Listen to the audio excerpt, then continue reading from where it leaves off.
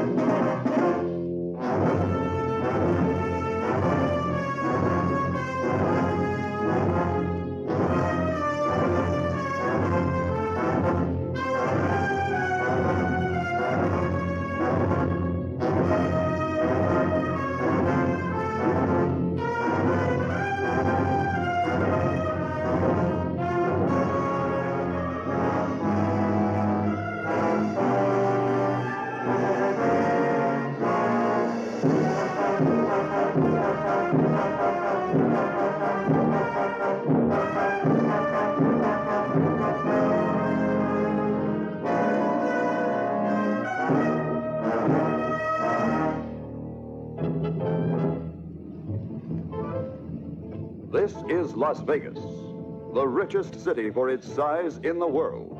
For the tourist, this is a showplace featuring great stars, beautiful girls, and gambling. Daily, the vaults of the gambling casinos are being filled with hard, cold cash. Roughly several million dollars of it every week of every year. Roughly, too, there are several million amateur or professional gamblers trying to get their hands on some of it. One of these was this man, Charles Chuck Wheeler, released from San Quentin Penitentiary in California on November the 28th. His method for getting the money, however, had nothing to do with gambling. Early every morning, the cash receipts from the gambling casinos are taken from the casino vaults and loaded into a small armored car for transport to a local bank. To a man such as Chuck Wheeler, known to police as a slick and ingenious crook who had planned successful bank and payroll robberies, this money presented tremendous opportunity. Wheeler's intensive planning for the robbery meant securing the right team of Confederates to work with him. Included in his plan was this man, Joe Darren, although Darren didn't know it. On the morning of December 19, Joe Darren and his bodyguard were on their way to Los Angeles for a quick business trip. This was a moment for which Wheeler had been waiting. Darren, a big time operator in various black markets, was known to be dangerous. Wheeler could make no mistakes. He had to be right the first time.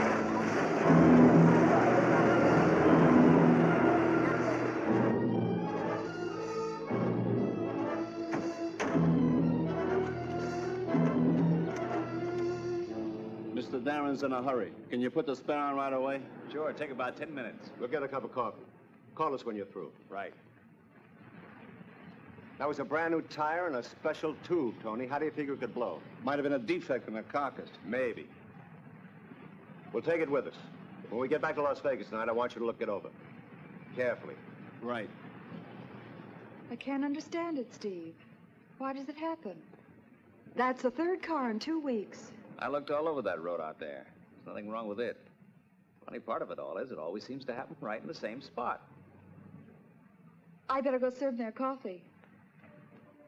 A trailer court on the outskirts of Las Vegas served as Wheeler's headquarters for the robbery. Here, he was to recruit his gang, He had already secured the services of a man named Lou Largo, a petty criminal on the run from the police.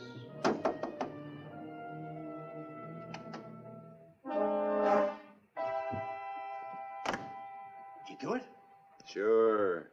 Darren never knew what hit that front tire, and before he stopped skidding, he was almost in the garage. you ready to go to work on him? Yeah. Is the set ready? Yeah, sure, sure. All finished. I think I'll start things going tonight. You gonna see the girl? Sure. You sure she'll see you? She has no choice. No choice at all. Appearing at a local nightclub owned by Joe Darren was a girl Wheeler wanted to contact.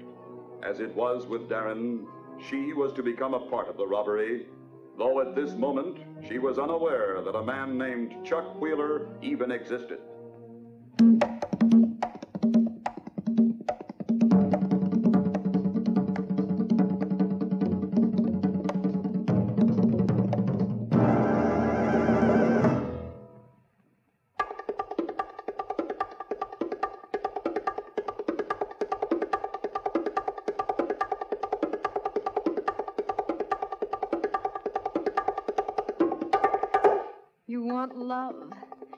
You've love.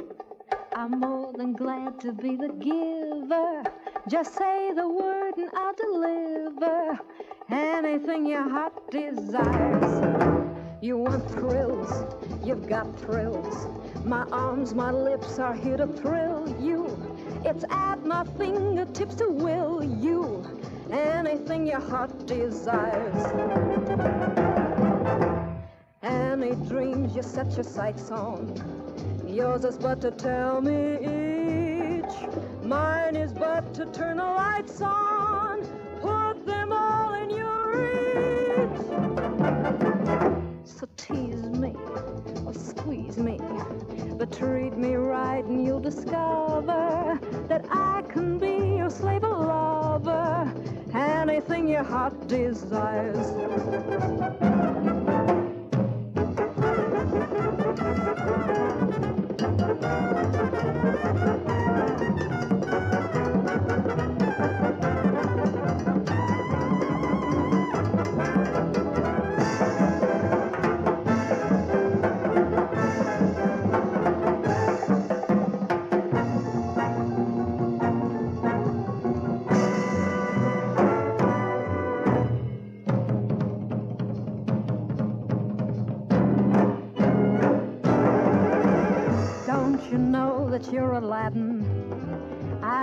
Magic lamp you hold.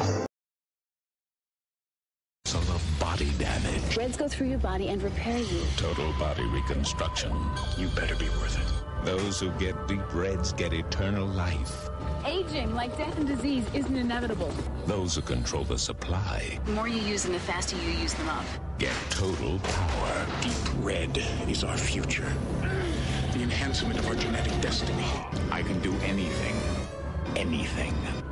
The Terminator's Michael Biehn stars in Deep Red, a sci-fi channel pictures planetary premiere. Monday at 8, Fox 11's Nightmares Week begins. This is no dream. This is Freddy. This is a nightmare on Elm Street. Come to Freddy. When you close your eyes, the nightmare begins. Say hello to Freddy. Then say goodbye. The original Nightmare on Elm Street, a world television premiere. Monday at 8 on Fox 11. Viewer discretion advised.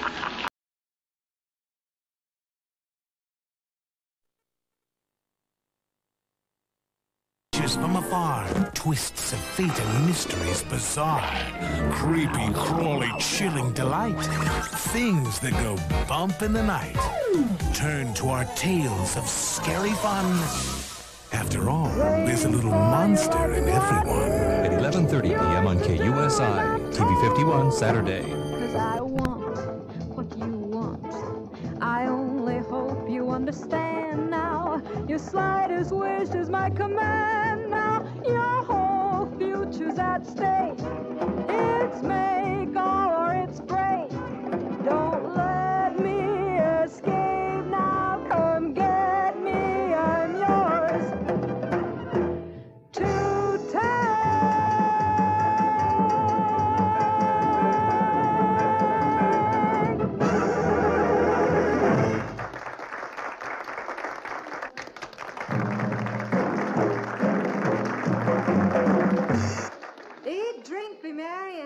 Play the slot machines, everybody. Because tomorrow they could set off another atom bomb out of Frenchman's Flats, and Las Vegas might get blown into a state where they don't allow gambling.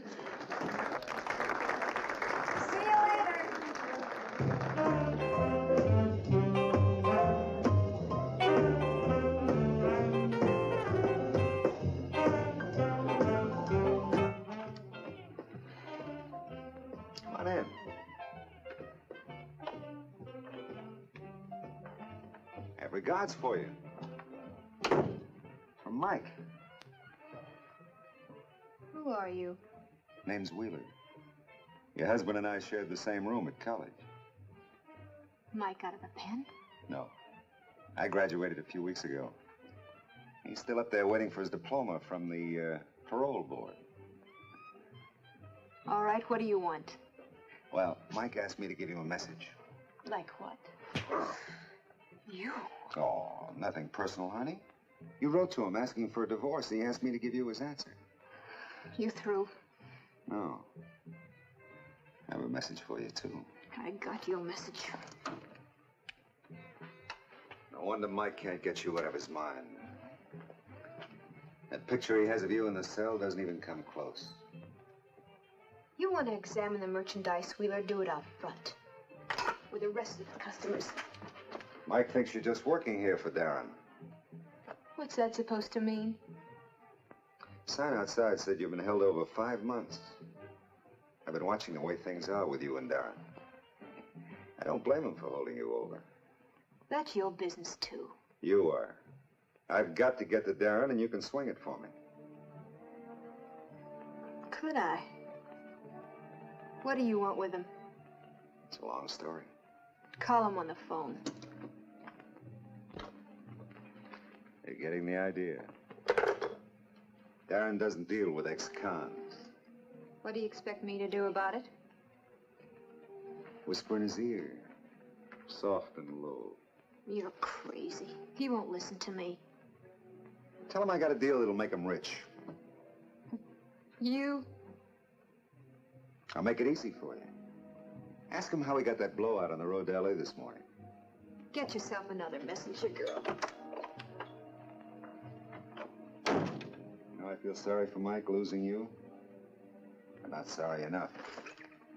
You're going to feel sorry, all right. Joe Darren will hear about this. I figured he would. You know, I spent a lot of time with Mike in that cell. I had to look at your picture every day, too. Tell Darren he can reach me at Huggins Trailer Court.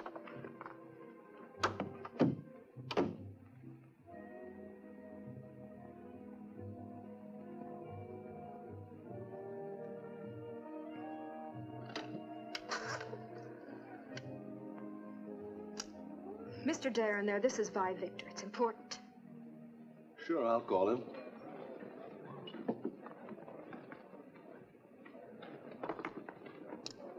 Paul.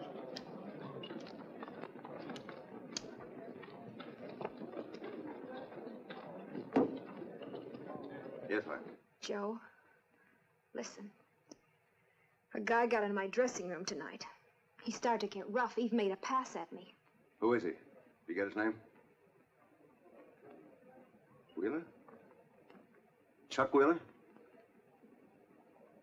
No, I never met him, but I know the name. He said he was in jail with Mike.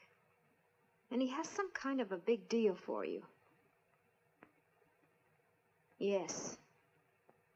And he said to make sure I ask you how you got that tire blowout on the road to L.A. this morning. Tire. Did he say where I could get hold of him? Huggins Trailer Court, huh? Okay, bye. I'll look up your friend. He won't like it, but I'll look him up.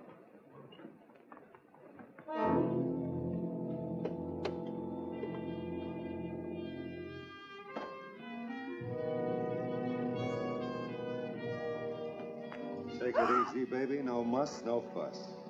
You said you were going to be at that trailer court. Sure. We don't want to disappoint anybody. Let's go. Maybe you won't be so happy when he catches up with you. Some people take out insurance policies, I like to take you out. Get in there. Where are we going? Get in.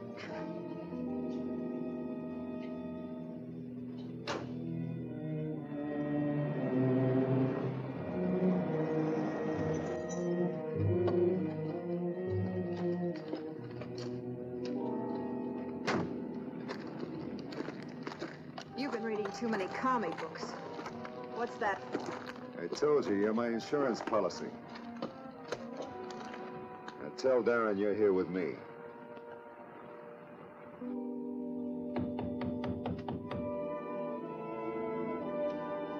Door's open, Chuck. Speak up, nice and clear. Joe? It's Vi. I'm with Wheeler. We talk, Darren, or she gets messed up. Tell your muscle boy to put away his brass knuckles. All right, Wheeler, we talk. I hope he feeds you the fish. A poison potion killed her. We're afraid that we do know the person pretty well. Will the killer strike again? You don't really know who to trust anymore. An unsolved mystery Wednesday. An all-new Wednesday, Night Court's head over heels because Christine's crowned Buffalo Queen. Then it's new. True. It's hot. Yes. New York's hippest night spot. I would have to agree. It's Nick and Hillary. Then Sam struggles to keep her child. Fathers have rights. He's kidnapped our baby. Nightingales on an all-new Wednesday. Actually, it wasn't conceived as something to be about death at all. It was about a second chance. No reservations needed at Wes Craven's Nightmare Cafe. Part of the Sci-Fi Series collection. Monday at 9, 6 Pacific. Friday the 13th, the series has come to the Sci-Fi Channel. Full of the supernatural and imagination. A stronger dose of pure horror than anything else on TV. Friday the 13th, the series. Tonight at 10, 7 Pacific. Now, back to the Cape Canaveral Monsters on Moonlight Matinee. Worlds inside our minds, worlds of peace and beauty. But when our minds wander too far, we lose control and enter the dark, deadly world of Freddy Krueger, where nightmares come alive. Experience Freddy's World every Saturday when A Nightmare on Elm Street, Freddy's Nightmares, comes to Channel 9. Don't let him catch you sleeping. From now on, your Saturday night will be a real scream. When full moons rule the evening sky, Camp Crystal Lake begins to die. With young and able counselors slain, there's just one boy that will remain. His name is Jason, and these are his days. It's Friday the 13th on USA. So sit back and enjoy the gory fun as we begin Friday the 13th, Part 1, next on USA.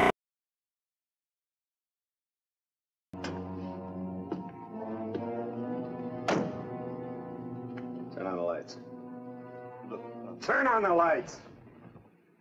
Turn it on, Tony.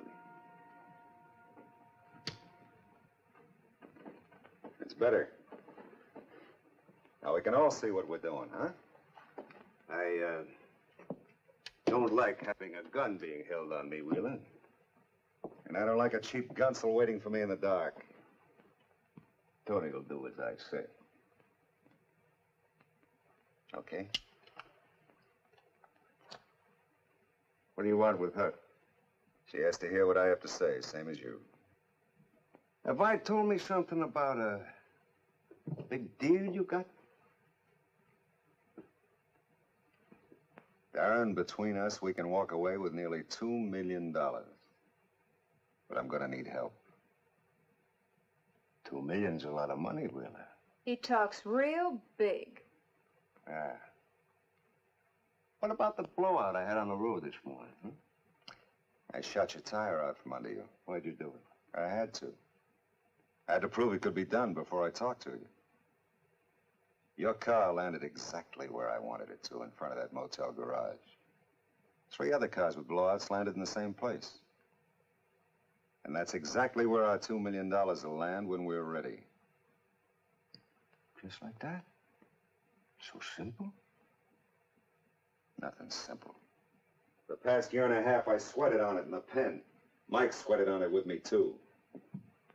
That's why he gets a cut of the deal. What's he gonna do with it in the pen? I'll hold it for him. He gets out in three months. I didn't know he was getting out so soon. He's been a good boy. 18 months ago, the banks here in Vegas started to use a new armored truck to take the paper money from the casinos here to the Federal Reserve Bank in Los Angeles, where they exchanged it for silver dollars. Twice a week, they make the trip to L.A. Twice a week, they pass the stagecoach inn. Why do you need us? Well, the banks here in Vegas keep a list of the serial numbers of the bills they send to L.A. That money wouldn't be worth a dime to us if you couldn't get rid of it in the black market. Mike Bennett say I could do that? Yeah. He said you had connections. We didn't have the key to the whole deal until we found out that Vi was working for you. You still got those connections? Perhaps. All right. Here's the deal. You and your money men get $600,000. Bennett and I split the rest. You said Vi had to know something about this deal. Why? Well, I got Largo, and I need someone in the clear who can help me get information. Now, wait a minute. I'm not getting mixed up in anything like this. Well, I think he knows what he's doing. You'll hear from me tomorrow. Meantime, do what you have to do. I'll make my contact for the exchange of the money and let you know when we can have the meeting. You ought to play along with us, kid. I told you I don't want any part of it. All you got to do is help me get information.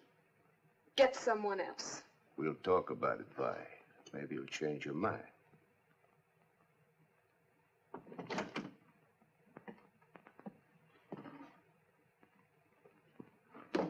See you soon.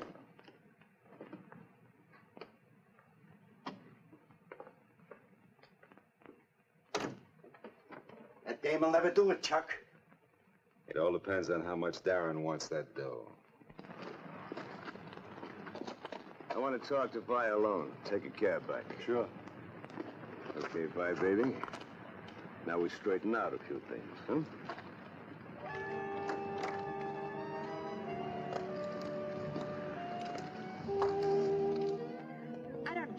You're doing all right. Why go into the deal? Kids, sometimes things are good, sometimes they're bad. This is one of the bad times. I need money and I need it fast. Even the club you're working for isn't hock. My luck's run out by. You go along with Wheeler's idea, and I'll see to it that you get enough to take care of you for the rest of your life. Take care of me. That's right. From here on in, you're on your own. Not getting married. You latched on to me because I had money and because I could give you a job, okay? I treated you right. With me, you figured you had everything licked. And what did you figure you had? Now look, Vi. Your husband's a trigger-happy con. He gets out soon. He just can't afford that kind of trouble. That's all there's to it. All right, Joe. Maybe it's just as well. I liked you enough to marry you, but love had nothing to do with it. You'd have been shortchanged. You can tell Wheeler to count me in.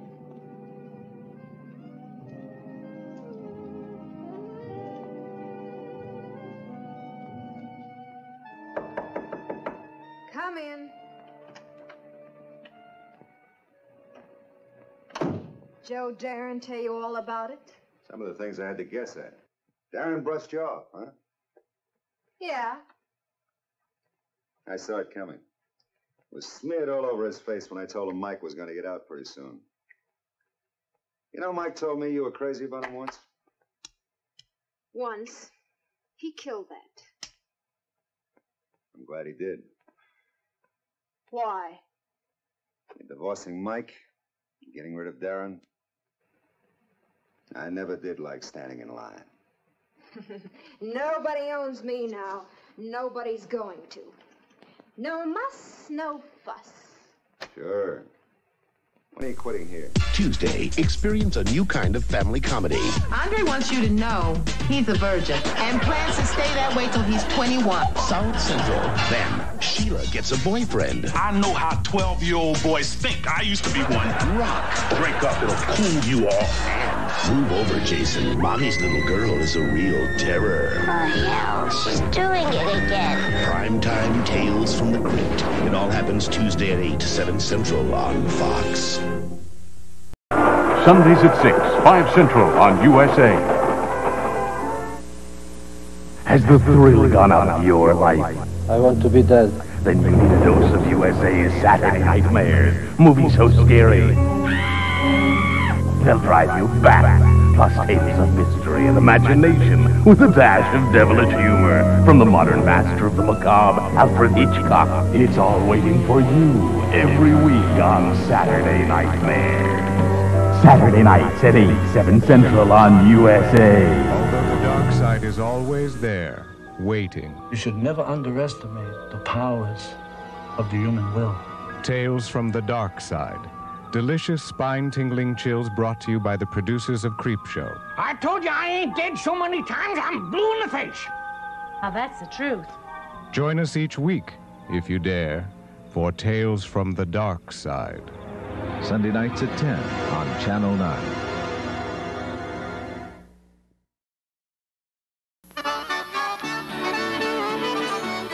Bonjour les enfants, Iswale Pierre here, checking into the Fox Kids Club with this week's French word of the week. All right, guys, welcome back to the Fox Kids Club. We have a special guest joining us today to give us a new uh, French word of the week. We're learning all kinds of neat things. In the month of October, they've all been kind of Halloween kind of words, uh, which we which we really have enjoyed. First of all, though, let's meet this young man. Tell everybody your name. Philippe And I just found out that Philippe um, is the younger brother of one of our crew members from last year, Jacques. So we're glad to have you here. What school do you go to, Philippe? S.J. Montgomery. All right, and what grade are you in? Third Third grade. Okay. What are we going to learn how to say today in French? Le Revenant. And what does that mean? A ghost. A ghost. All right. No ghost. Let's practice it together. Everybody ready? No really ghost. fast at home? Un, deux, trois. Le Le Revenant. Revenant. Good.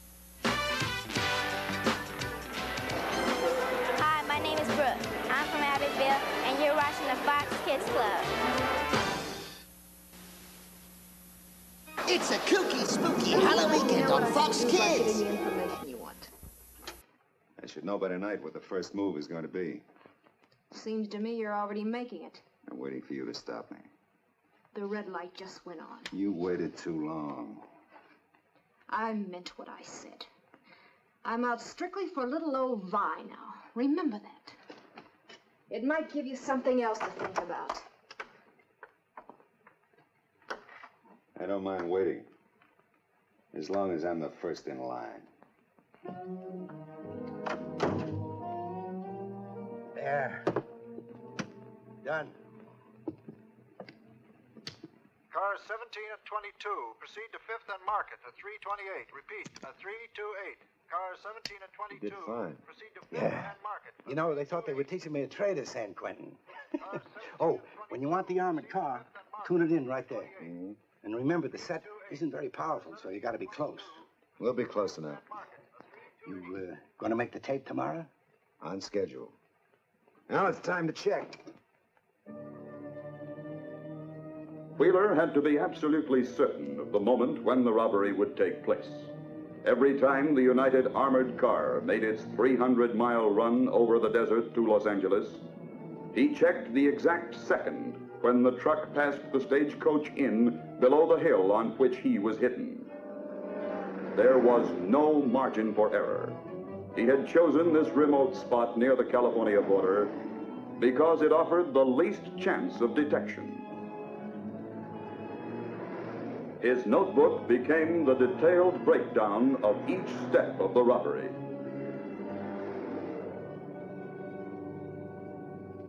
The time had arrived for Vi Victor to begin her phase of the operation.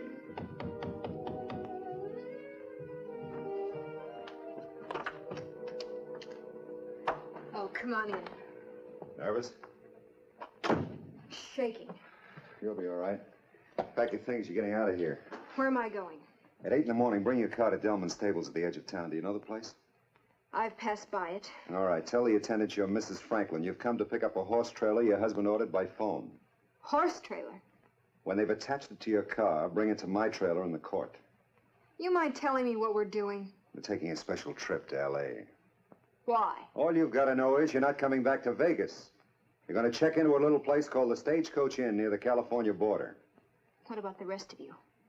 I don't want to be alone at that motel. I'll check in later after I've talked to Darren and his money boy. Now, you got it straight? Yes. Well, all right, hurry up. You haven't got that much time. I'll be there at 8. The next morning, as the armored car rolled toward Los Angeles on one of its twice weekly trips, Vi Victor began her job of helping Wheeler get the information he needed. Hidden in a horse trailer pulled by Vi's car, Chuck Wheeler was getting ready to make a tape recording of the voice of the armored car radio operator and that of the operator at the police check-in stations.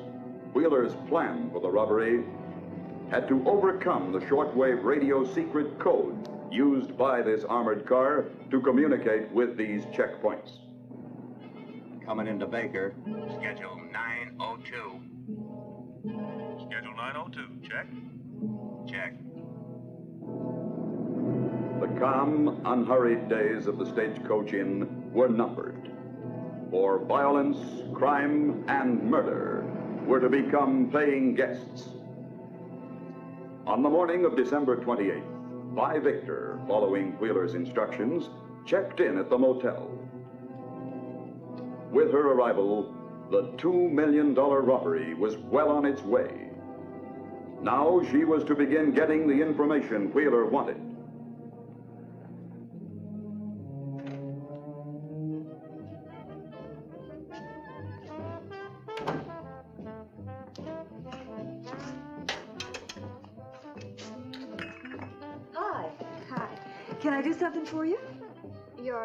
Sign says you have a vacancy. More than we like. Just for tonight? I'm not sure yet. It may be a few days. I've been traveling so much, I'll be glad to relax. I'll give you one of the cabins in the rear. I'd rather be further front if possible. Well, you'll get the traffic noise. After living in a city hotel for three years, it'll sound like crickets. Sure. It's less lonely up front. Come on, I'll show you. Oh, uh, Steve will be back in about 15 minutes if you want to wait. He's out with the tow truck.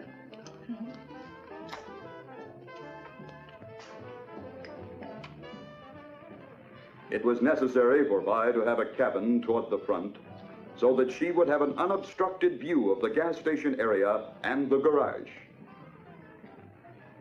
Thanks.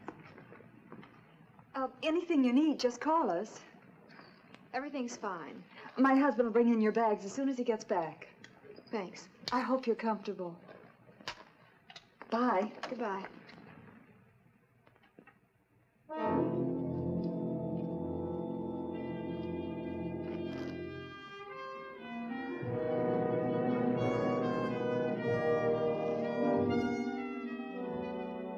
For the next week, Vi Victor was to keep an accurate account of the times that trucks and cars stopped at the motel, for a large vehicle could block the armored car at the critical moment.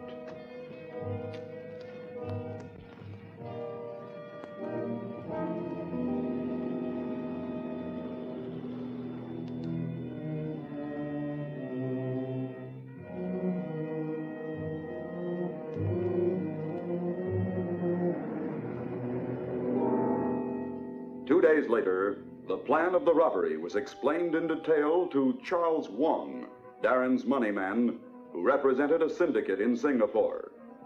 Now, this is the course the car will follow after I blow its right front tire.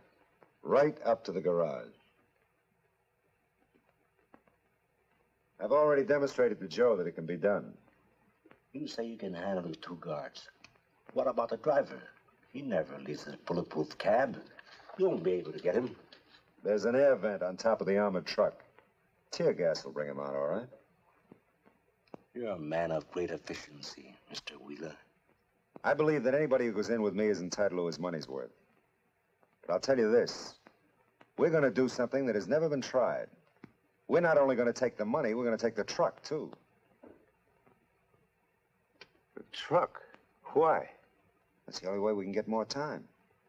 The truck keeps checking in in code with the cops all along the way. Then how can you take the truck without the proper code? Listen to this. Largo. United calling 42X.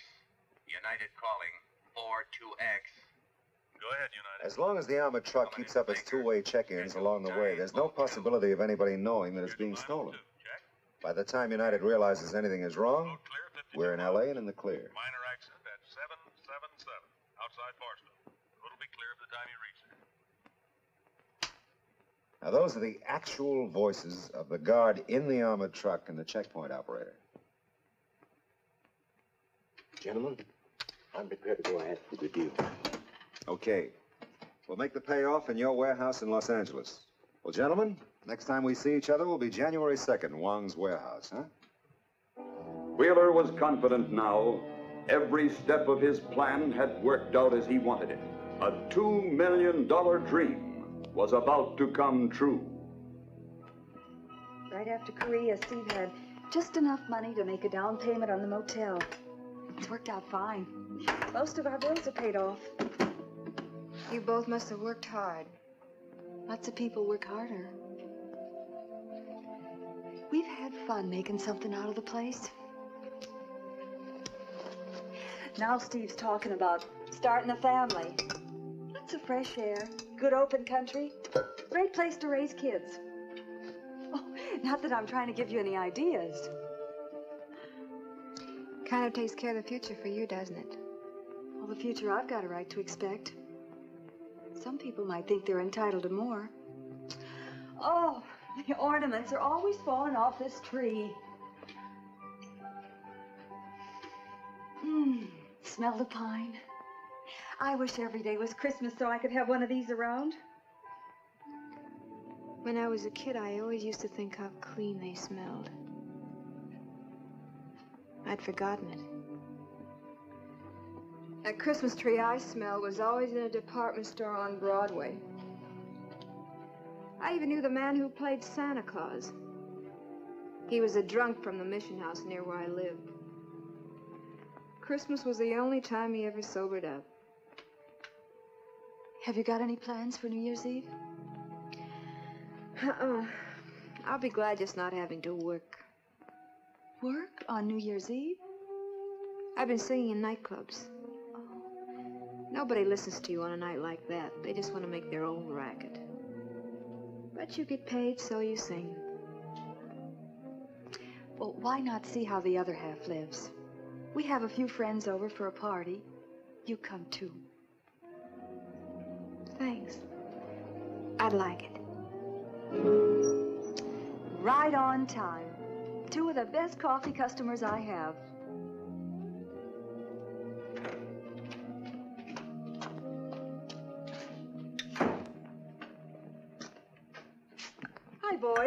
Usual? Yeah, with a jelly donut, Ann. Oh, man, you're starting your New Year's celebration early. See you later, Ann. I want to get some sun. Okay. Oh, uh, there'll be some new magazines in this afternoon. Mm. Well, there's a New Year's resolution I'd like to make. Maybe I ought to just move in this place. Our cabins don't have built-in blondes. Yeah, she may not be built in, but she's sure built.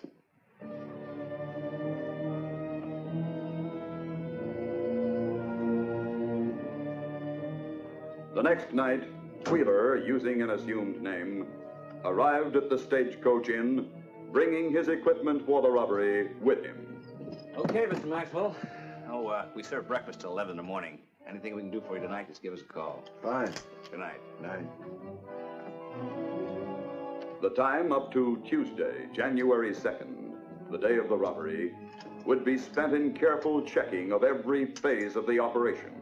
Wheeler waited until almost 2 in the morning before daring to leave his cabin to contact Vi Victor. He had to make sure no one saw him, for he and the girl were supposed to be strangers. It was a moment of great tension for Wheeler. Vi Victor's information could determine whether the robbery would go ahead on schedule or not.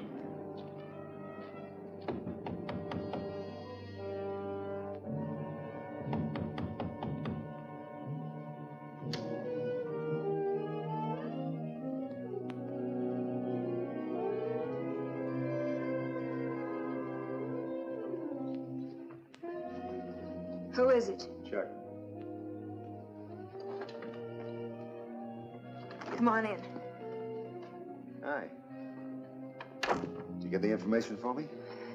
Yes, but something came up.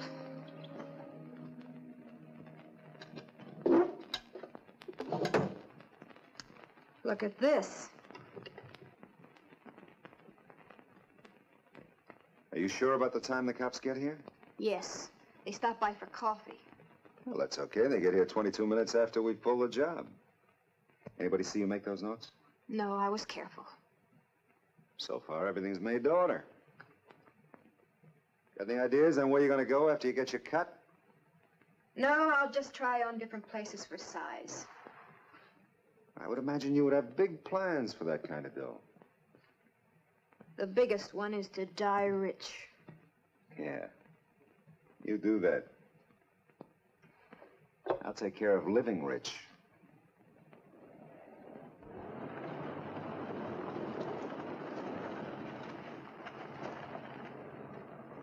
Car stopping right outside.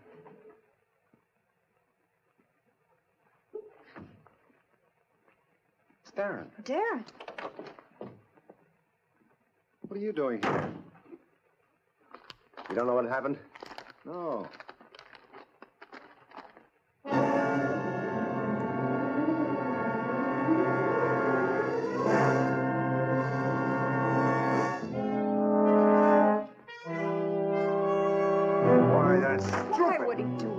Just had a few months left to go for his parole. If he heads this way, he can louse us up. Every cop in Nevada will be on him. With two million bucks waiting for us, he has to blow his top. All right, so what are we going to do? Well, we can't stop the job now. You, Abbott, and Lago better keep him in Las Vegas if he gets there. The cops don't reach him first. I hate these things, but I'm not worried. Luckily, I brought in an expert. Time to play. Okay, here, Zippy. We'll figure it out this Saturday on USA Up All Night when we watch Hellraiser 3. Saturday at 11. I'll be waiting.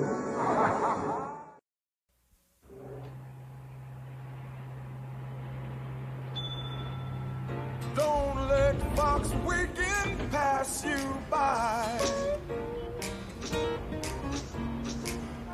Just check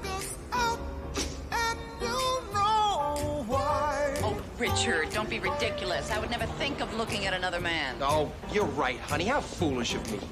The best of 20th century, oh yeah. Don't let Fox Weekend pass you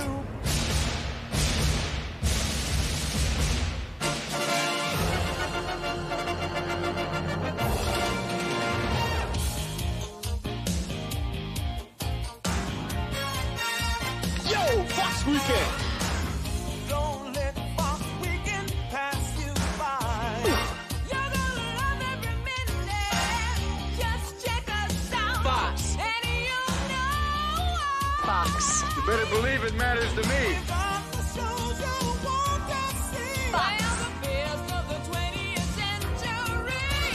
Fox.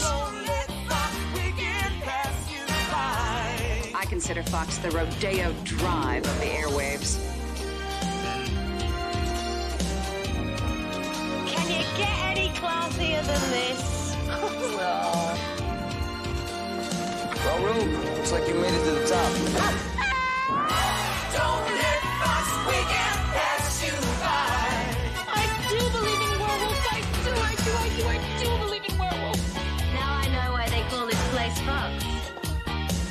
Look at that, baby. Look at You know we're going to the job here at the motel? Come on. I'll keep my lights until the job is done. Don't be mine. Take care of it. Don't let Fox Don't mess it up. pass you You need that. Don't let it pass you by. Don't let Fox Weekend pass you by. Thanks for joining us at Fox. Yes, he is. Thank you. He has no right to me. He knows that. Yeah, try telling that to a guy who's just flipped his lid. I'm afraid, Chuck. If you find me, he won't give up. Yeah. I'll try to keep him away from you. Look, I'm going to Mexico as soon as this job is done. I'm going to clear out. I've got all the arrangements made. The ticket, nothing's going to change that. You want to go? I'll get another ticket. Thanks, Chuck. Know if it's the answer. I can't keep running.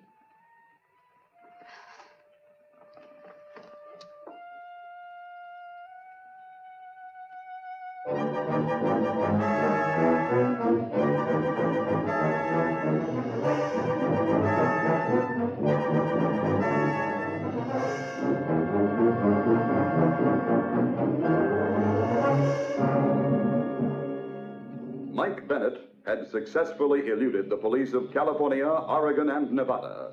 And on Saturday night, December 30th, he finally reached Las Vegas.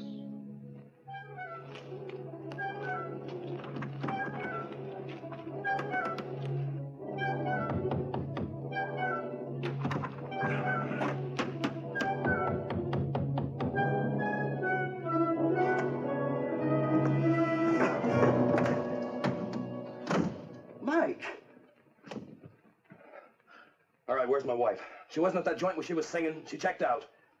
I don't know, Mike. How should I know? Where is she, you think?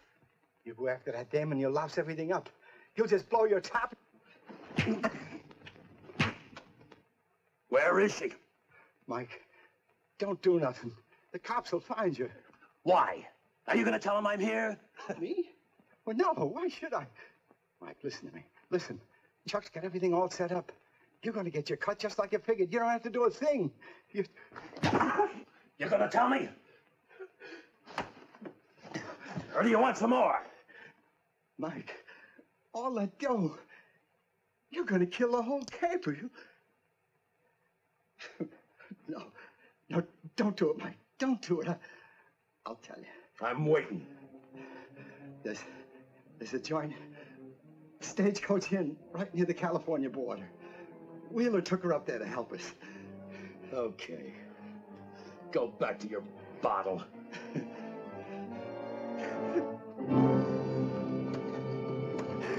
Won't stop you.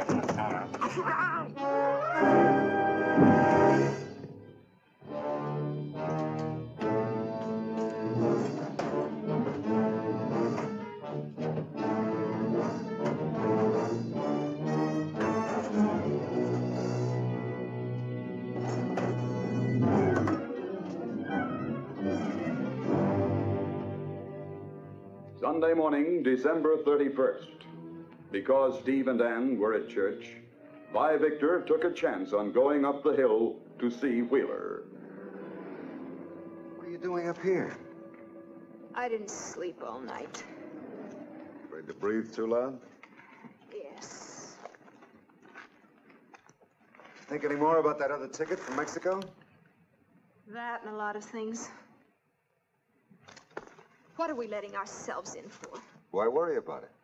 I meant when this is over. What will we be? Look, you want to start clean in Mexico? You start clean in Mexico. Sure. Drunk all year and Santa Claus on Christmas. Who would we be kidding? You're scared. You want out of the deal. No. What's going to happen to those kids when the job is over? Oh, come on. We got our own troubles. I don't want them hurt. You picked a fine time to get religion. Steve and Ann have had it a long time. Look, all that's going to happen is they're tied up. By the time they're found, we'll be in Los Angeles and in the clear. I had to know. Maybe this is a good time to start convincing you about Mexico. First it was Darren, then it was Mike, then it was Darren. I'm not ready to ask for any more trouble. How do you know? That's all, Chuck. All right. You can have it any way you want it. But just don't try to keep me out of the deal. You know what would happen. Someday you'll kill Mike or he'll kill you. If we had anything together,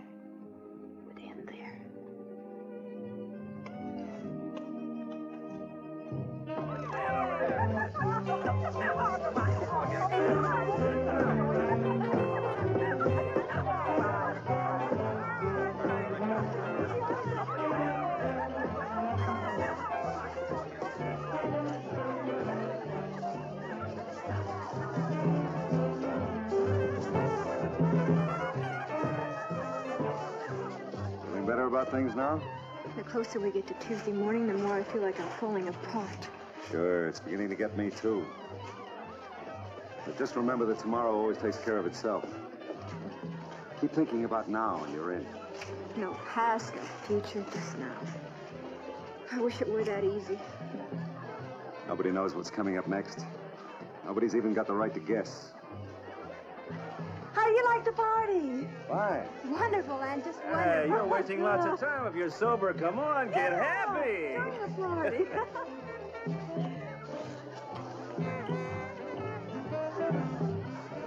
They're lucky kids. They've got the world by the tail. In this broken down joint? They think it's great. Nothing else matters. That's what makes them lucky. Nothing else matters but the two of them. Well, if you listen to Steve so much, why don't you listen to him now? Come on, you're wasting a lot of time. Get happy. All right. Let's try to find something to be happy about.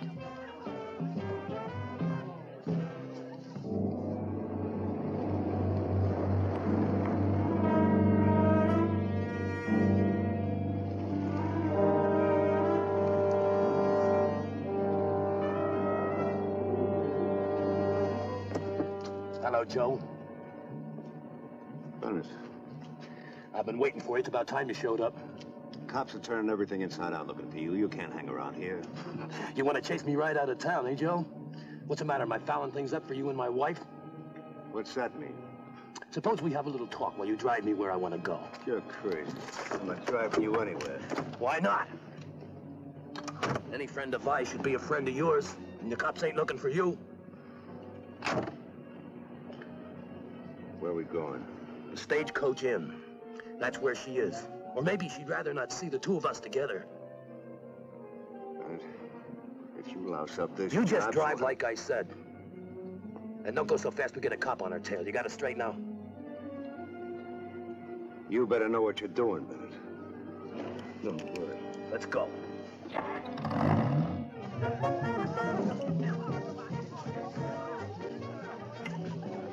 Hey, you're hitting bottom. You ready for another one? You rush things. You always rush things. Okay.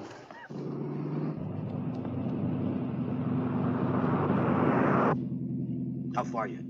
About 30 miles. Never thought I'd know about you and Vi, huh? You weren't very careful, Joe. Things get around.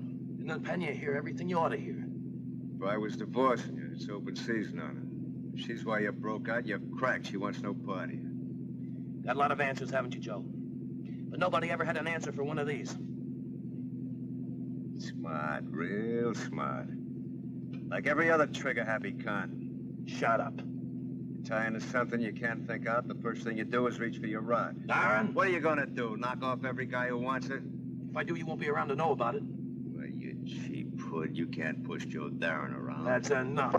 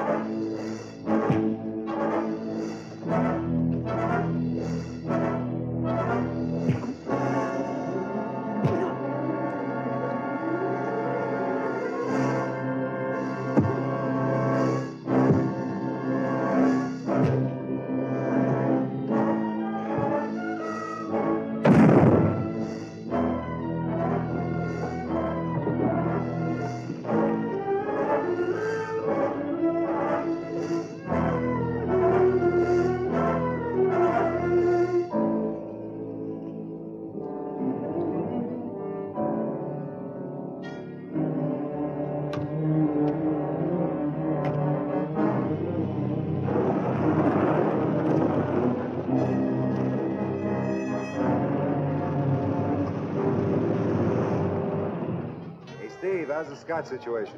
Why? Vi wants to catch up with us. Well, now that's the old fighting spirit. Another double? Sure. I have to get twice as happy. How's that for living just for today? You're getting the idea. Cheers. Cheers. Vi, give us a song. That should wake everyone up. I don't want the party to die before midnight. Sure. All I need is a dime for the jukebox. Sing something they'd understand even in Mexico. Always rushing things. Clear the decks, everybody. Vi's gonna sing a song.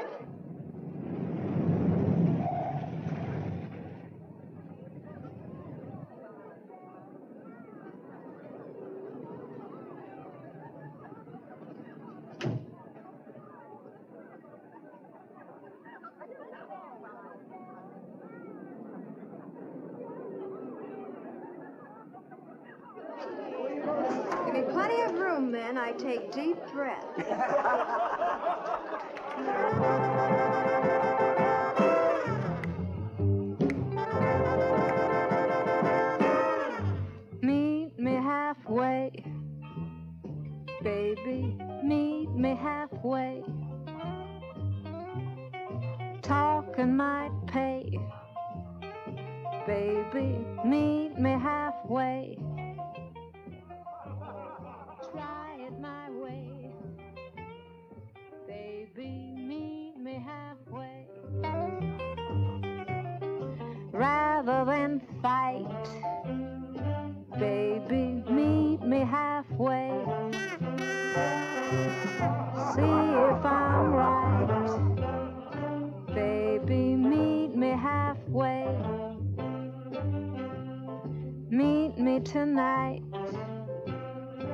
Baby, meet me halfway.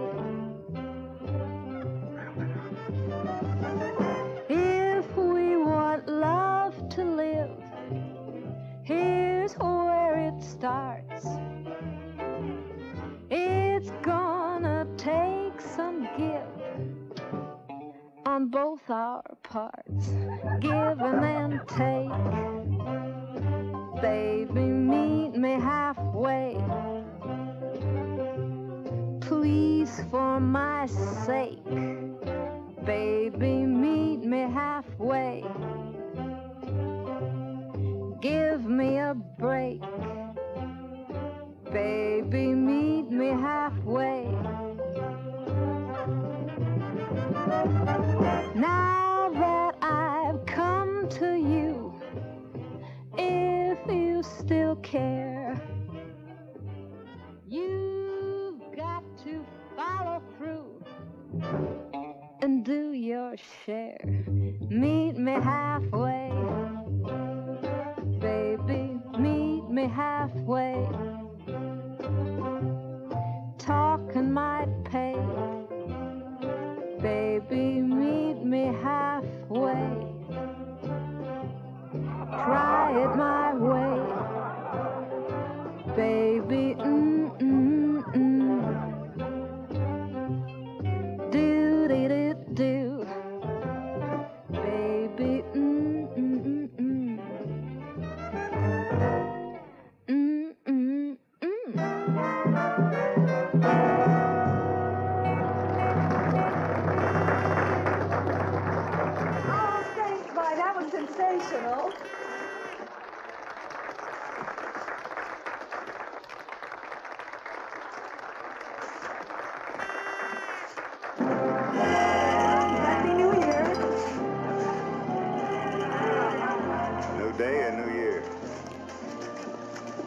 Told you you didn't have to worry about tomorrow.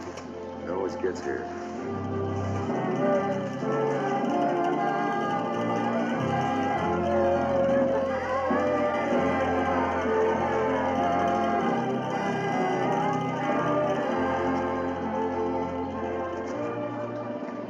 Want me to get that other ticket for Mexico now? Maybe things will work out for Miss Chuck. I don't know. All I know now is I want them to.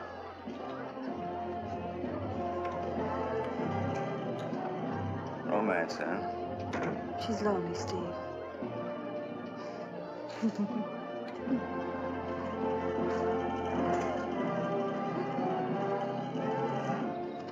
Chuck, Yeah. there's so many things we have to talk about. Like whether Mexico's a good place to get married? be very nice.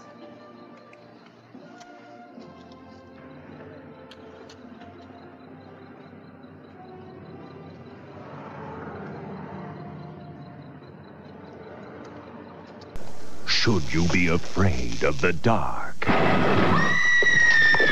TNT thinks so, and we've got the monsters to prove it. Go away! For God's sake, go away! Expired. He's dead, but he has the power to move and kill.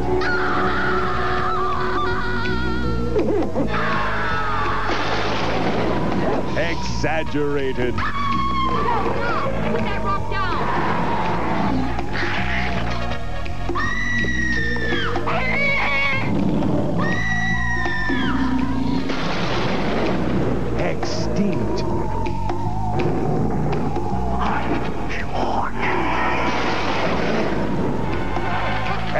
Extraterrestrial. You think that I've become a monster. To me, you look as monstrous as the missing link.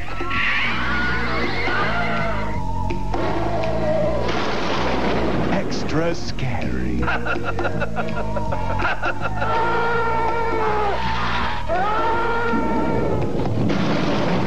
TNT extracts your deepest fears Why did you make me like this? and exposes your most horrifying nightmares when we turn your television into Monster Vision. Every Saturday at 3 p.m. Eastern on TNT. oh, my revenge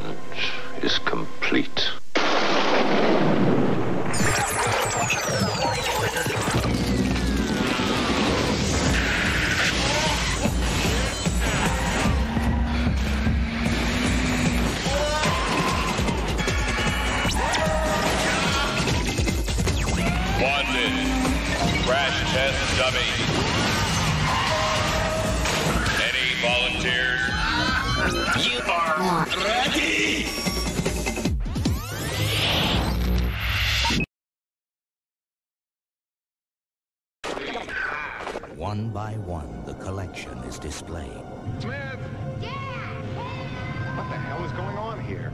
Presenting rare and special programs, the Sci-Fi Series Collection. We needed to, to, to have a world in which the plasmoid creatures had been actually created by androids. An android that reads poetry. Seems to have a lot on his mind. Watch your step in The Other World. Tomorrow at 9, 6 Pacific. No one can escape the curse of the undead. Lock the door and leave a window open. Wednesday at noon, 9 How to do Pacific it, on the Mike? Sci-Fi Channel. You had to come after her. You couldn't let things go until after the job was done. Close the door, Chuck. You're standing in a draft. I don't want you to catch cold. Shut it. Why did you come here? You know, I thought it was just you and Darren. Now it's Wheeler. You don't miss a trick, do you, kid? So long as it's a pair of pants with money in the pockets. That's for you, huh? Leave her alone, Mike. She told you she's through with you. She said she wants a divorce. And I intend to see that she gets it. I thought you were smarter than that, Chuck. But I guess as long as it's her, there are no smart guys. Your being here won't change anything. Chuck and I are going to Mexico. If we still feel the way we do now, we'll be married. You can't stop it. Want to bet? Mike, you're off your rocker. I've already killed Largo and Darren. You what? Two more won't make any difference. I needed Largo for the job. You- Oh, Mike. Two million bucks. All the sweating and planning.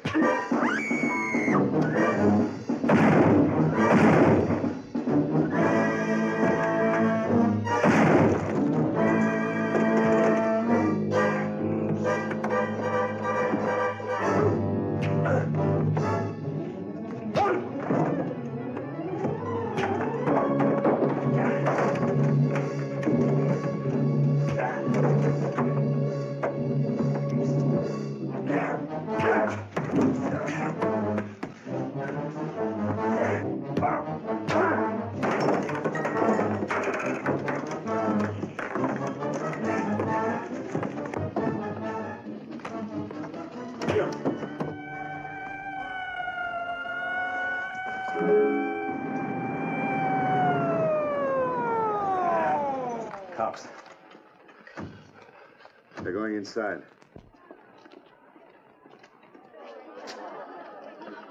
Just in time for a drink with us, boys. What'd you have? No thanks, Ann. We're working. Found a guy on the highway with a bullet in his head. Nothing's turned up around here, has it? No, we've just been having a party. Anybody tried to rent a cabin tonight? No, but if anything happens, we'll let you know right away. Okay, keep your eyes open. Happy New Year, everybody. Oh, happy New Year. Yeah. They're coming out.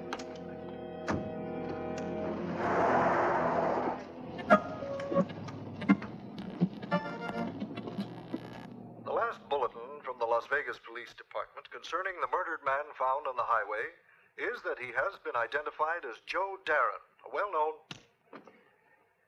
They found him. That's why the cops are coming around. You fixed up everything great. First Largo, then Darren, and now the cops are putting on the heat. I'm calling the whole thing off. You're not calling off anything. I'm taking Largo's place. We're gonna hit the truck like we planned. Nobody knows I'm here, and nobody has to know until Tuesday morning. Okay. We all want the dough, and that's the only way to get it. This doesn't wash out anything, Wheeler. We'll do the job. But only one of us is gonna be able to spend that money. You're so right. Don't plan too far ahead. We'll do the job Tuesday. On schedule. The long New Year's weekend brought one of the biggest spending sprees in the history of Las Vegas.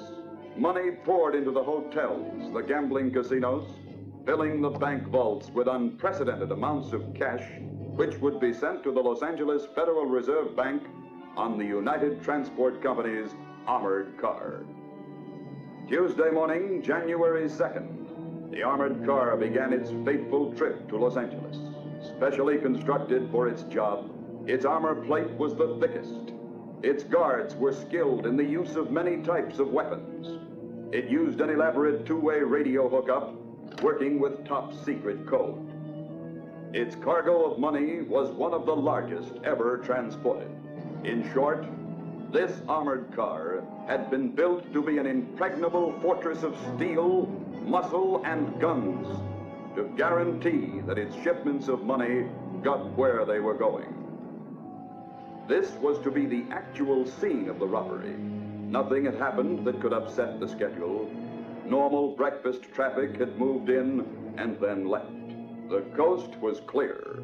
By Victor, Wheeler, and Mike Bennett were ready to move with split second precision.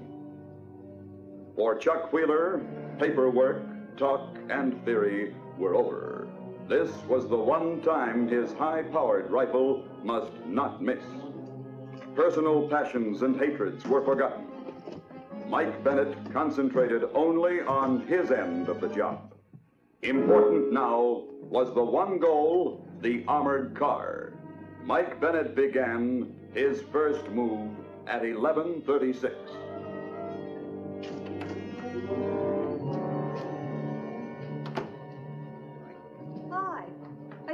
Your car drive up. Want some breakfast? Just some coffee, please. Okay. Don't make a sound. Oh, what? Down on the floor. Down if you don't want to get hurt. Down!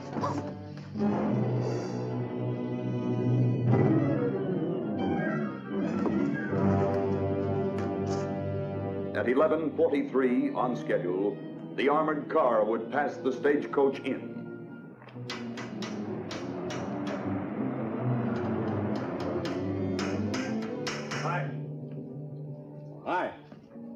Something for you? My car stalled outside. Thought you could take a look at it. Oh, sure.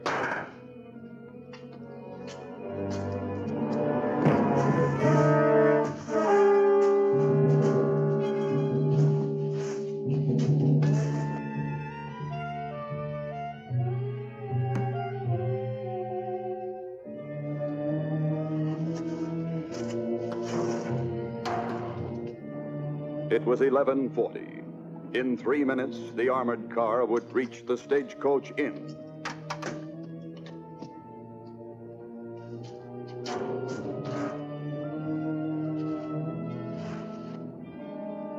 Each moment counted now. The weapons had to be as ready as were the men who would use them. 1142. Tension grew for Vi and the others as the time grew shorter. The final seconds were ticking away, and now it was 1143. The time had come.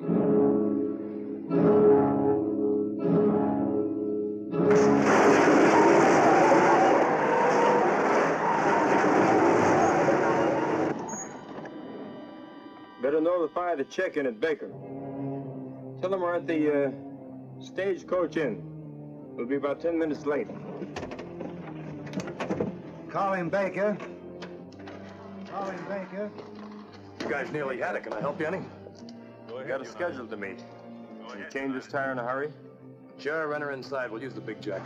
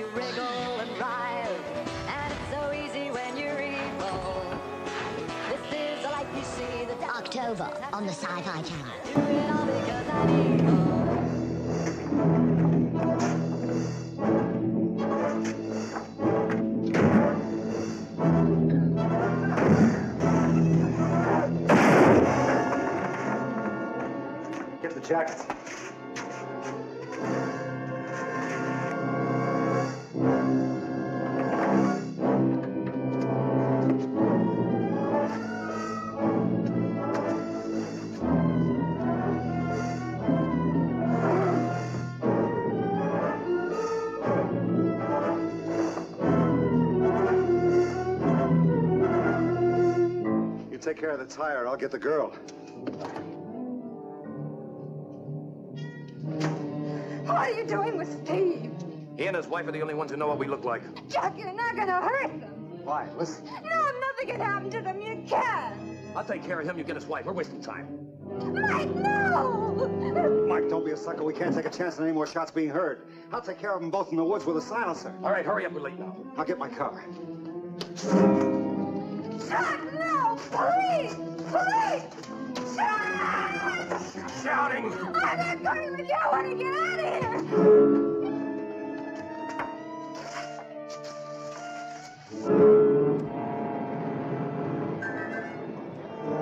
Where's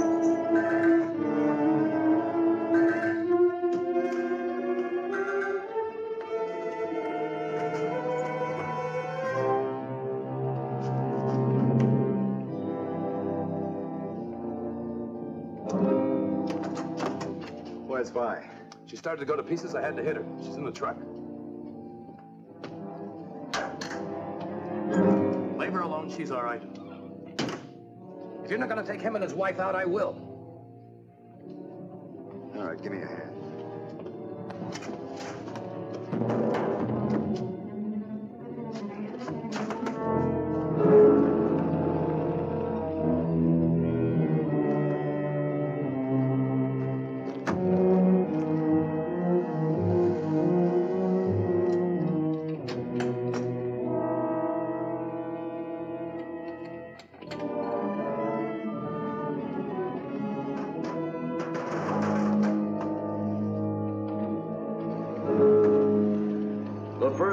Stage of the robbery had been completed. There were no witnesses who could identify the criminals. The only things that stood between them and the final payoff were the check-in stations at the various towns along the route. If the tape-recorded voices of the armored car guards went undetected, then the crime would reach a successful conclusion.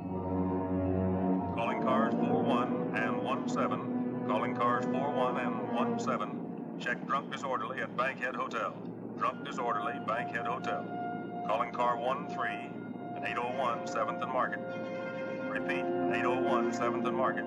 Proceed at once, car 1-3. Calling cars 41 and 17. Repeat, check drunk disorderly at Bankhead Hotel. Alarm.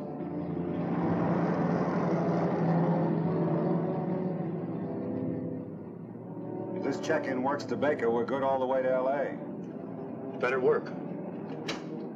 United calling 42X. United calling 42X. Go ahead, United. Coming into Baker. Schedule 902. Did you hear that? He checked in as 902. So? United notified us they were changing their code as of January the 1st. It's the second already. And they're still checking through with last year's signals. I want to see that truck. Stall it until I can notify all points. Schedule 902, check. Schedule 902, check. Check. Road clear through to Barstow. Okay, 42X. We'll maintain speed. Schedule 473. Return. Schedule 473, return. 42X going off. That's it, we're in. Now we can stay with the cop calls all the way to Barstow.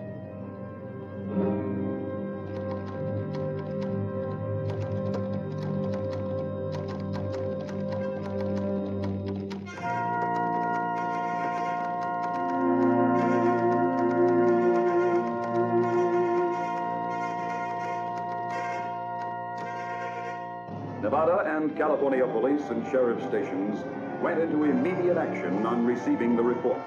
With more than $2 million at stake, the law enforcement agencies could afford to take no chances. All units are authorized to stop the United transport truck on contact. Repeat, all units are authorized to. There'll be roadblocks. We'll never get through. So what do we do now? Let's go back to the stagecoach inn, get my car, and try to make it through the hills.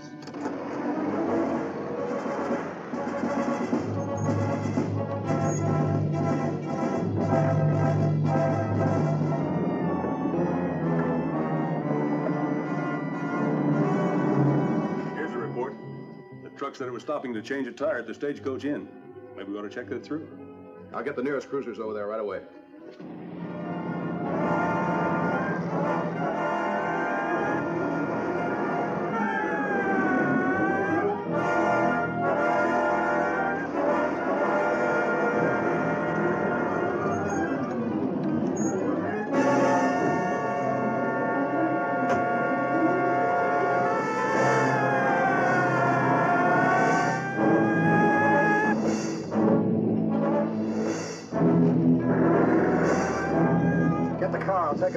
As I can.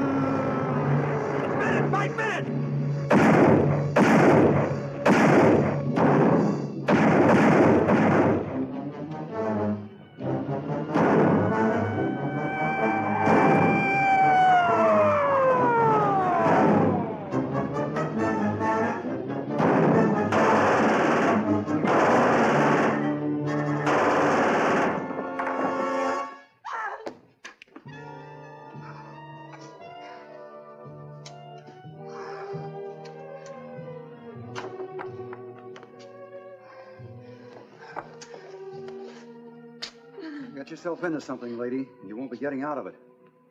Where's Steve and Ann? Where are they? He killed him. Take a look, Dave.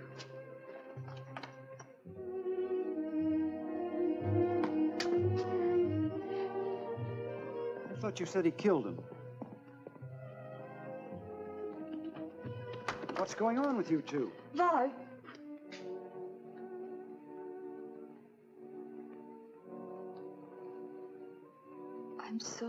Sorry, Vi. I'm so terribly sorry.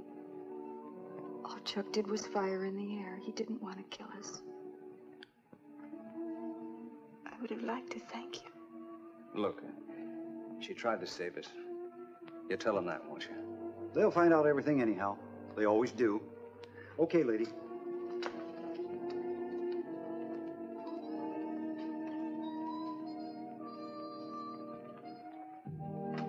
But perhaps, in a way, Chuck Wheeler had been right. There can't be a tomorrow for those who live only for today. Yes, this is an armored car, specially constructed for its job. It does that job.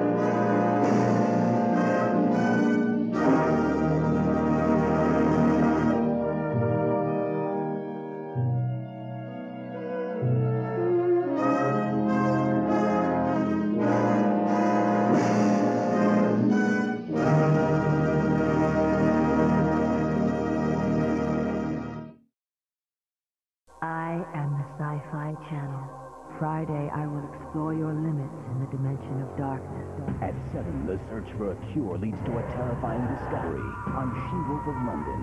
Then at 8, if you thought Damien was bad, meet Delia, Omen 4, The Awakening. And at 10, Justice wears a haunted badge on Friday the 13th, the series. Sci-Fi Channel Weekend of Wonder. Friday. Come with me.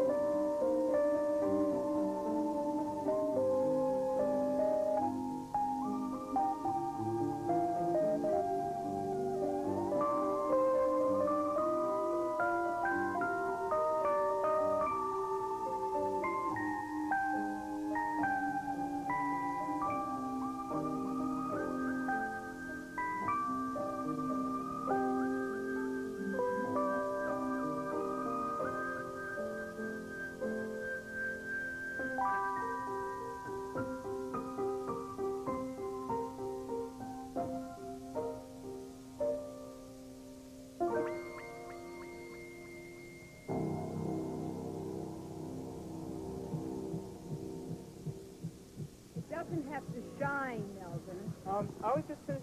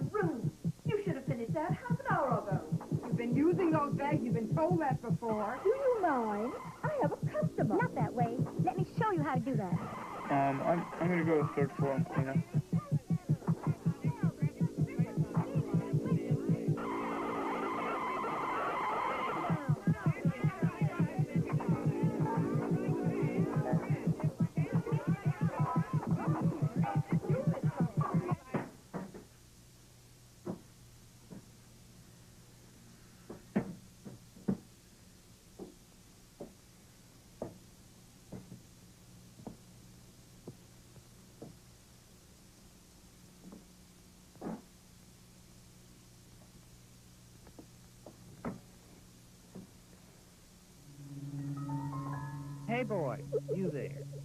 Now, how about giving me a hand? I don't know where that damn sales lady went. These lousy buttons. You want me to button you up?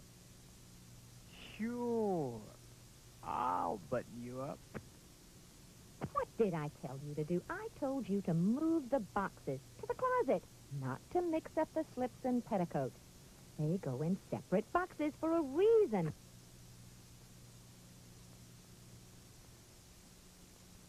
I said get a bag for a wedding gown. A new white bag. I can't do anything with this. Take this back upstairs and bring me a white bag. New dresses go in new bags. That's the way we do. Oh, Melvin. What are we going to do with you?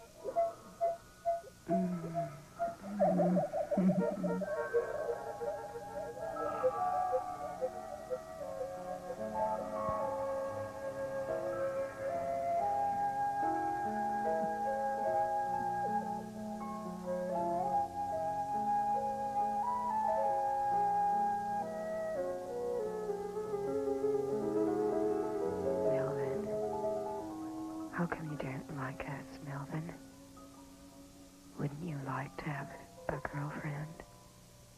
I'll be your girlfriend. Wouldn't you like that, Melvin? Melvin.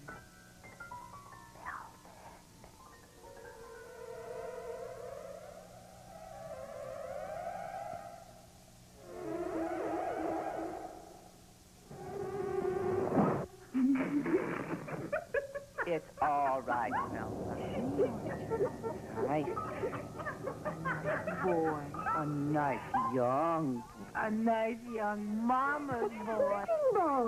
Someone a great wife. 26 years old and doing woman's work. Don't touch me. Filthy. I know you were sweet. Big boys shouldn't play with dolls.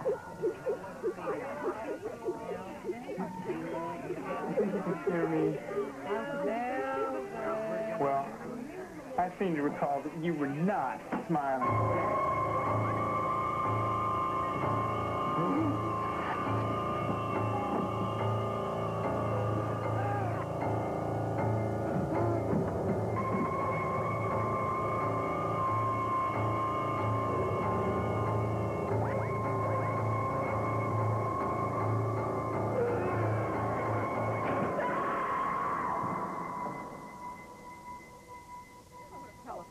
Telephoned if he'd gotten Oh, lost I in don't the know. Good morning. Oh, thank heaven. No, I called his mother and she said he hadn't come home last night. Did anybody see probably right in there still. You know how Melvin is. Oh, oh at last.